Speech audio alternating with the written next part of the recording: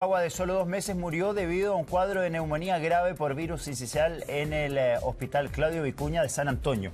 La lactante perdió la vida en el box de reanimación del Servicio de Urgencia Infantil, esto en circunstancias en que la red de salud no tenía camas disponibles para su internación.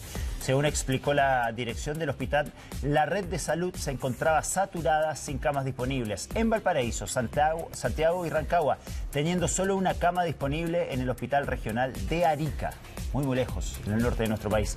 Debido a esto, la menor iba a ser trasladada hasta Arica para ser internada. Sin embargo, presentó una complicación previo a su traslado, lo que terminó en su fallecimiento. El hecho ha sido calificado como terrible e indignante y la familia anunció que tomará acciones legales después de lo sucedido. Sí, porque esta, estas situaciones no debieran producirse en nuestro país, menos cuando estamos hablando de la salud de una guaguita, de un menor de edad que debiera estar garantizada por parte del Estado en términos de poder contar con camas en el sistema público o privado, tal como se hacía la integración en los momentos más álgidos de la pandemia, cuando había que internar a una persona por COVID, lo mismo debiera seguir rigiendo o debiera haber una estructura que permita que cuando hay una situación crítica como esta, se libere alguna cama del sector privado con facilidad y con, con rapidez para que pueda operar como corresponde y entregar una solución también en el caso de esta guaguita y de esta familia también. Escuchemos declaraciones de su familia.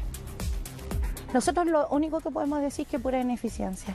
Nosotros recalcamos el hecho de que ayer eh, ya estaba la autorización para el traslado, estaba el procedimiento nosotros podemos entender a lo mejor que Mía resistiera o no resistiera, pero eso tampoco nunca se nos decía a nosotros. ¿Qué les dijeron en definitiva? No, a, nosotros nunca como familia nos transmitieron como nada así como de verdad, de verdad, de puntual. No, nosotros como familia creemos que hay errores administrativos. Eh, que... asumen como error administrativo o negligencia? Yo creo que nosotros creemos que las dos y nosotros vamos a hacer todas las acciones legales que, que podamos Claro, aquí anuncian acciones legales, pero, pero la vida de una persona no se repara y no se, no se no vuelve atrás la situación con acciones legales, ¿no? Sin duda que tiene algo que cambiar eh, eh, a todo nivel.